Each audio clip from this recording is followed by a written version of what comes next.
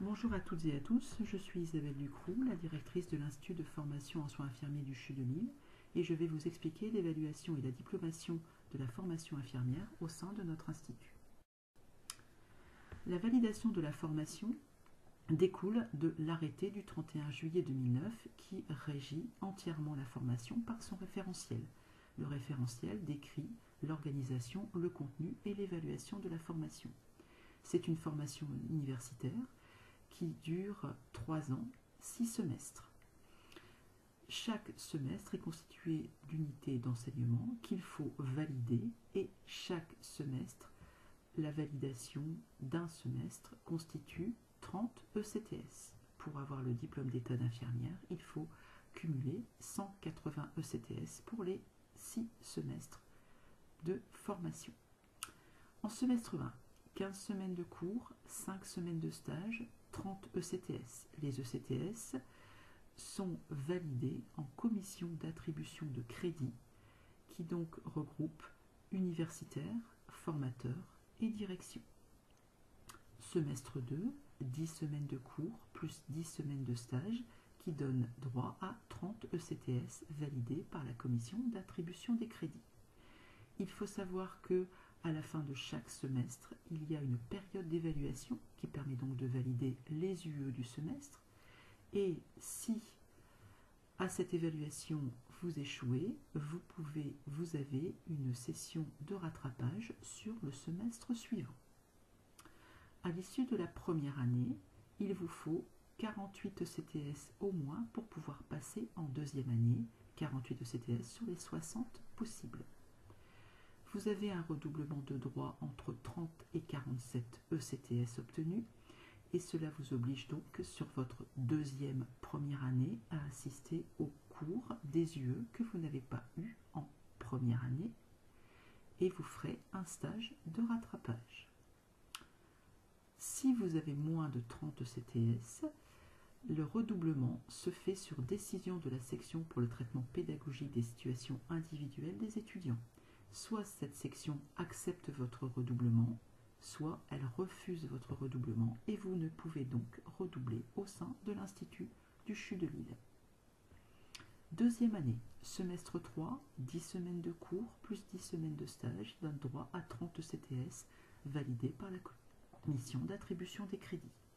Semestre 4, 10 semaines de cours, 10 semaines de stage qui donne 30 CTS validés par la commission d'attribution des crédits le passage de deuxième en troisième année se fait si vous avez obtenu au moins 108 ECTS sur les 120 possibles.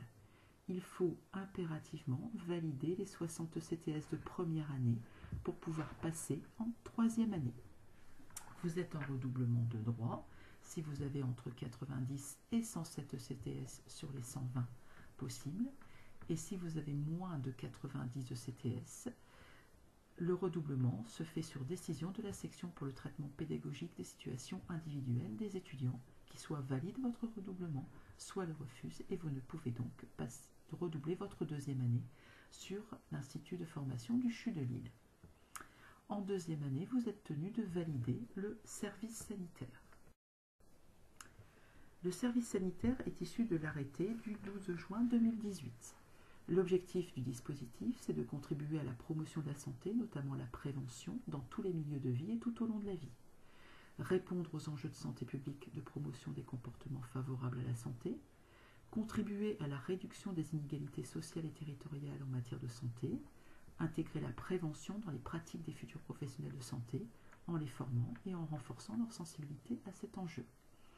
Il faut savoir que le service sanitaire est obligatoire pour tous les professionnels de santé en formation, qu'ils soient médicaux ou paramédicaux. La validation. En fait, le service sanitaire occupe toute la deuxième année. En début d'année, vous avez toutes les formations, euh, la formation indispensable à la réalisation du service sanitaire. Il correspond à certaines UE d'enseignement.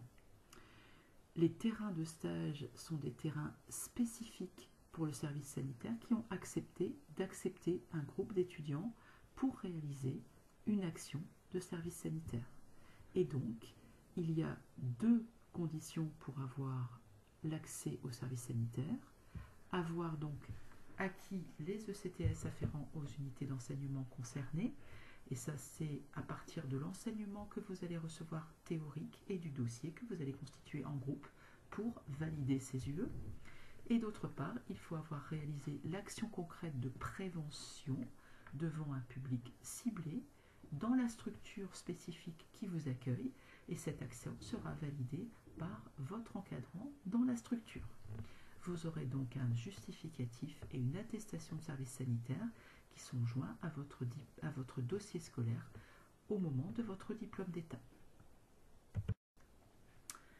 Validation de la formation, donc validation du semestre 5, 10 semaines de cours, 10 semaines de stage, 30 CTS qui sont validés par la commission d'attribution des crédits.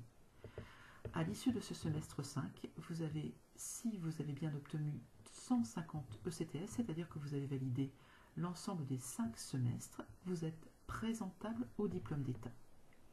Le semestre 6, qui est constitué de 5 semaines de cours et de 15 semaines de stage, donne également droit à 30 CTS, mais c'est le jury final de la Direction régionale de la jeunesse des sports et de la cohésion sociale qui valide ce semestre 6 et qui vous donne votre diplôme d'état d'infirmier. Donc en résumé, pour avoir votre diplôme d'état d'infirmière, il vous faut 180 ECTS. Il vous faut avoir effectué 90% du temps de stage sur l'ensemble des stages de vos trois ans d'études. Il vous faut le justificatif et l'attestation de service sanitaire. Et donc, vous avez votre diplôme d'état d'infirmier et vous avez votre grade de licence. Une spécificité du CHU de grâce à une organisation mise en place au sein de l'Institut validé par l'Agence régionale de santé, vous pouvez obtenir l'attestation de formation de praticien en éducation thérapeutique de niveau 1. En résumé, donc, pour votre première année, semestre 1, semestre 2, 25 semaines de cours, 15 semaines de stage, au moins 48 ECTS sur 60. Pour passer en deuxième année, semestre 3, semestre 4, 20 semaines de cours, 20 semaines de stage, au moins 108 ECTS sur 120 pour passer en troisième année, semestre 5, semestre 6, 15 semaines de stage, 15 semaines de cours, 25 semaines de stage, 180 ECTS sur 180.